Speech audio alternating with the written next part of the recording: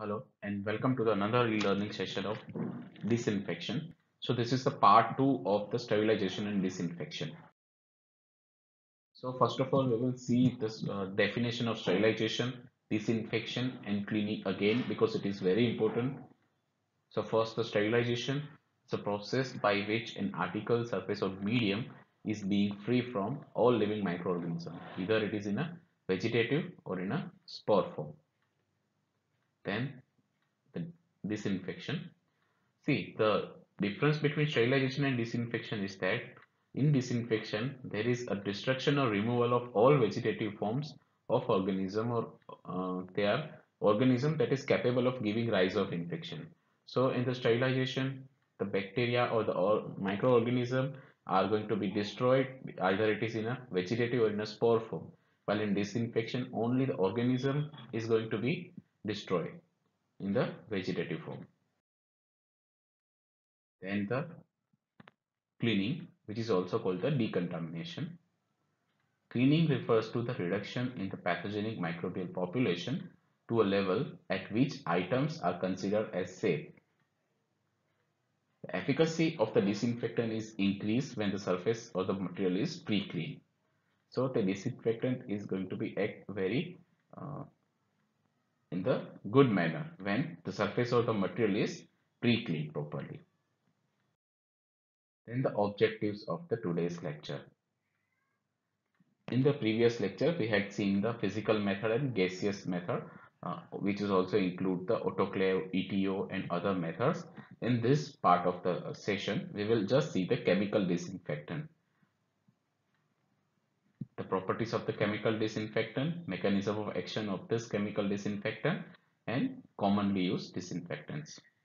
Then we will also see the Spaulding classification and the selection of the sterilization or disinfection process. So here is the list of chemicals that will be considered as a chemical sterilization or the disinfectant. The first is alcohol which is very useful for the hand rubbing then aldehydes formaldehyde and glutaraldehyde then dyes gases phenols halogens that will include your chlorine and iodine then surface active agents metallic salts. So this slide shows the ideal antiseptic or disinfectant should be wide spectrum of activity. It having it should have the wide spectrum of activity against the any type of microorganism. It should be active in presence of organic matter. It is effective in acid as well as the alkaline medium.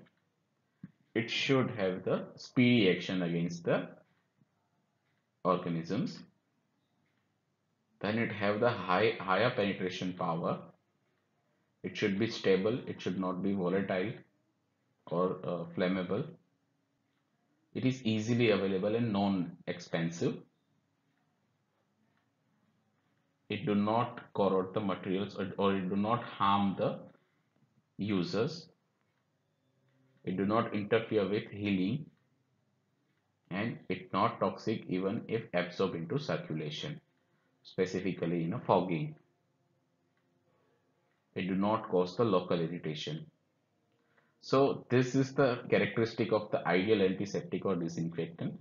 Such ideal chemical is yet to be found. It some having some uh, different types of problems like some having a wide uh, does not have the wide spectrum of activity some are only active against the bacteria some are only active against the viruses and funguses uh, some are not stable etc etc so such ideal chemical is yet to be found.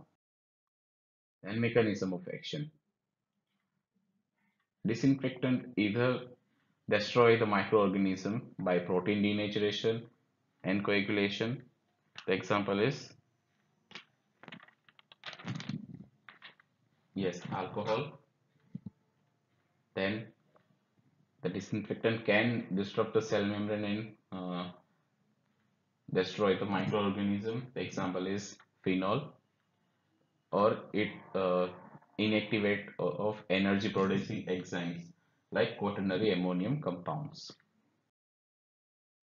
So this is the first chemical disinfectant, alcohol.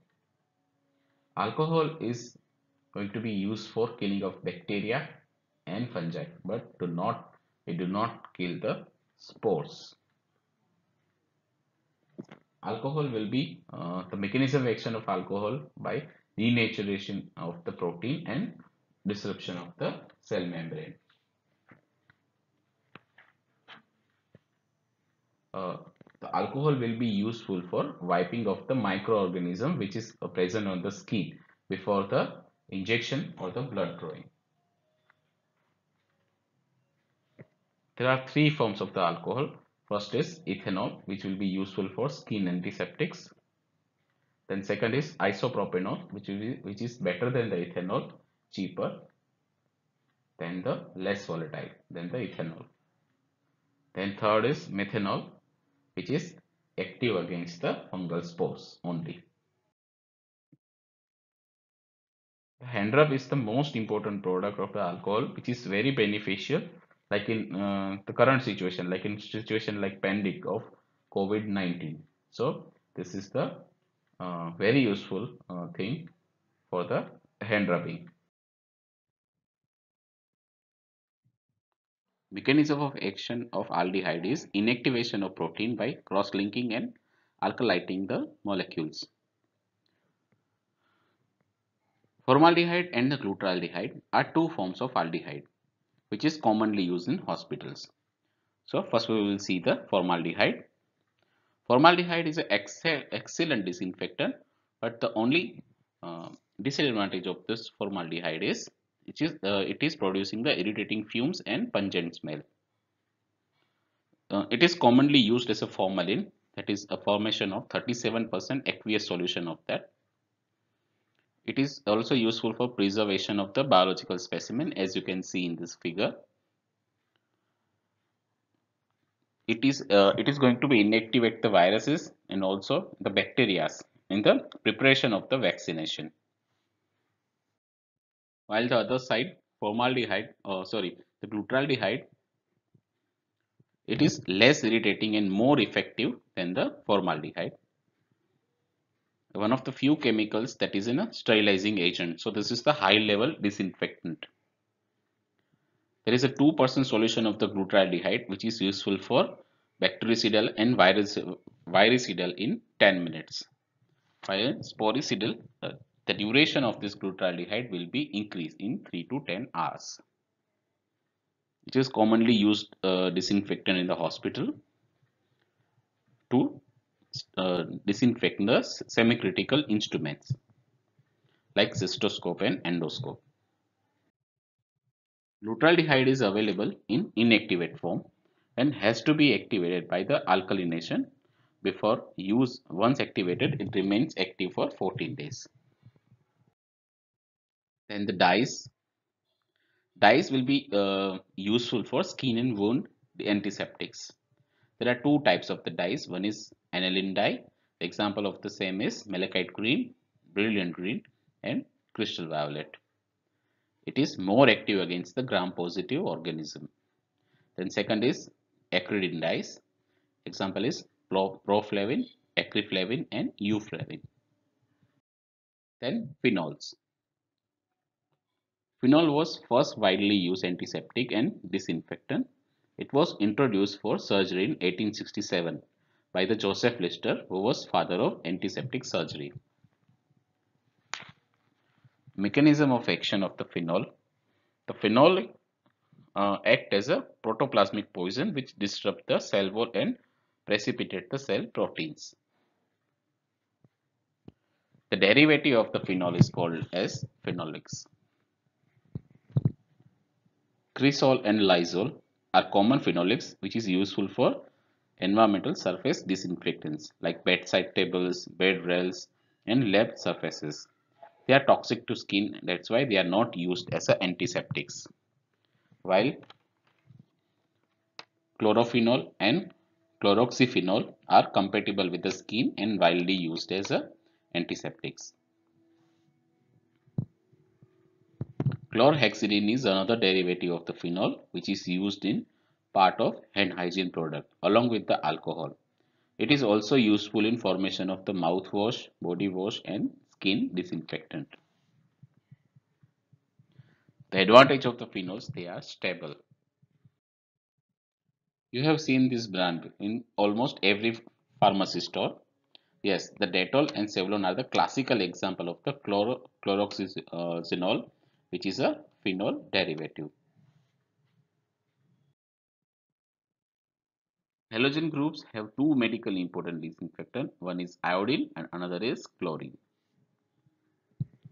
Iodine is widely useful as a skin disinfectant.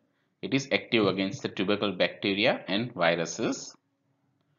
Betadine is the widely used product of the iodine which is used as a skin antiseptics in before the surgery. Then another is chlorine. Chlorine occurs as a free chlorine and hypochlorite. It is available in a two preparation. One is liquid form that is sodium hypochlorite or household bleach and another is it in a powder form that is calcium hypochlorite or bleaching powder. There is another name uh, or the form of the chlorine is sodium hypochlorite.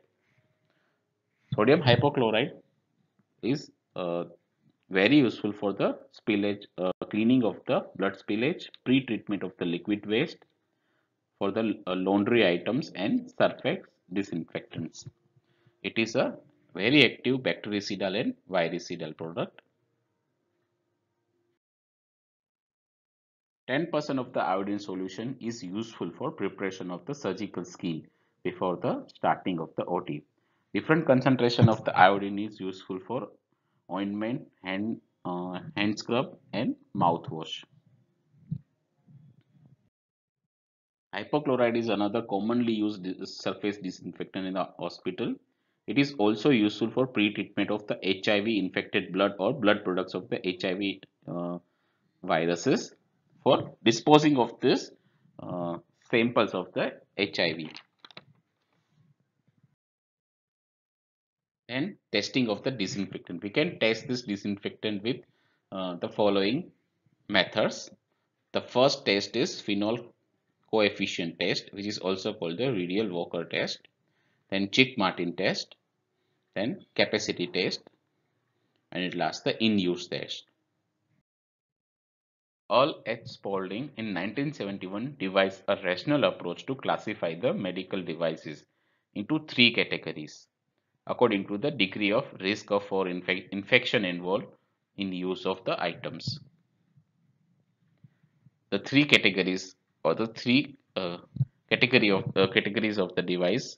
The first is non-critical, which is in, uh, include example of this uh, non-critical patient item is blood pressure curve, ECG electrode, thermometer, and stethoscope.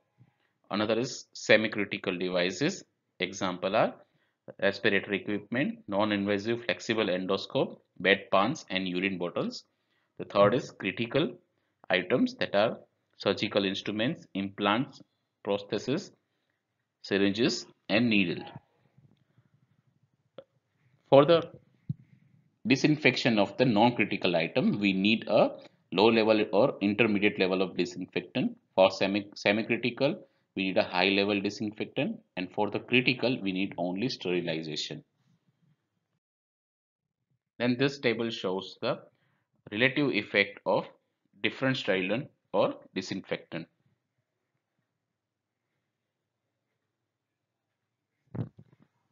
Sterilization or the sterilant or disinfectant are vary in their efficacy of destroying the microorganism. Like uh, ideal sterilant can destroy the bacterial spores, tubercle bacilli, non-envelope or envelope viruses, fungus or vegetative bacteria. While the high-level disinfectant can destroy any of this with or without the spores. Intermediate level disinfectant cannot act, uh, used against the bacterial spores while it can use against the tubercle bacilli, viruses, fungus and only vegetative form of the bacteria while the low level disinfectant can only use against the vegetative bacteria enveloped virus it may or may not use against the fungi or non-enveloped viruses